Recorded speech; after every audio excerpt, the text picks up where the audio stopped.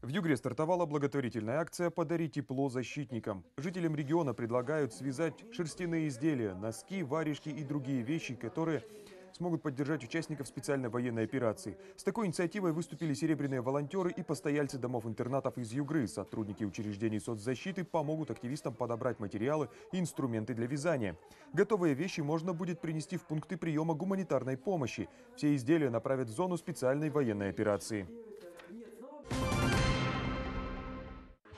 Прибывшим с Донбасса семьям окажут комплексную помощь. Речь идет о гуманитарной поддержке и психологическом сопровождении переселенцев.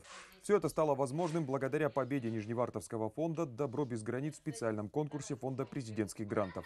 Программу помощи разработали, основываясь на потребности переселенцев. В штате фонда четыре квалифицированных психолога, которые на протяжении года будут вести групповые и индивидуальные занятия с детьми и взрослыми. Они помогут справиться с тревожностью, адаптироваться и побороть страхи. Второе направление проекта – помощь гуманитарная. Раз в три месяца на средства гранта будут закупать сезонные вещи и предметы личной гигиены для переселенцев. Проект стартовал 1 октября и рассчитан на один год. Всего в специальном конкурсе приняли участие 34 проекта. Нижневартовский благотворительный фонд помощи нуждающимся «Добро без границ» стал одним из шести победивших НКО. У нас уже один выезд был, то есть мы предполагаем, ну, предполагаем примерно ориентировочно раз в неделю их делать. Вот. Э, в плане гуманитарной помощи и поддержки, то мы ждем, как только у нас средства поступят на счет, мы сразу же будем оплачивать и эту часть э, гранта тоже в жизнь. Герои сказов Павла Бажова появятся в Нижневартовске к новогодним праздникам.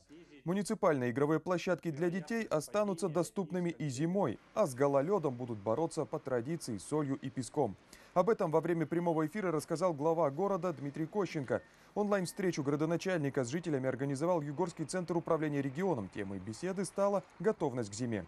Обсуждение транслировали в социальной сети ВКонтакте на официальной странице городской администрации. Зрители задавали вопросы в комментариях и получали ответы.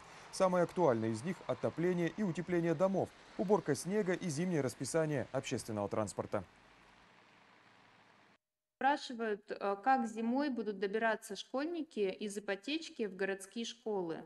А, будут это рейсовые автобусы, какой-то бесплатный проезд. Э, что для этого делает администрация? А на сегодняшний день мы рассматриваем, как я уже говорил, увеличение именно количества маршрутов и самих автобусов, что даст возможность школьникам э, все-таки бесперебойно добираться до школ и, соответственно, обратно до мест своего проживания. Югорский боксер Кирилл Локотков вышел в полуфинал чемпионата страны. Накануне в Чите завершился шестой соревновательный день. Успеха наш спортсмен добился в весовой категории до 54 килограммов. В четвертьфинале ему противостоял боксер из Чеченской республики. В итоге победу единогласным решением судей одержал Кирилл Локотков. Дошел до полуфинала и Рашид Янгазиев. Югорчанин выступает в весовой категории до 63,5 килограммов. Отмечу, что полуфиналисты уже обеспечили себе место на пьедестале почета. Призовой фонд чемпионата чемпионата страны солидный и составляет 26 миллионов рублей. Победители турнира получат по полтора миллиона. Серебряные и бронзовые призеры по 250 и 125 тысяч рублей соответственно. Полуфинальные встречи пройдут завтра.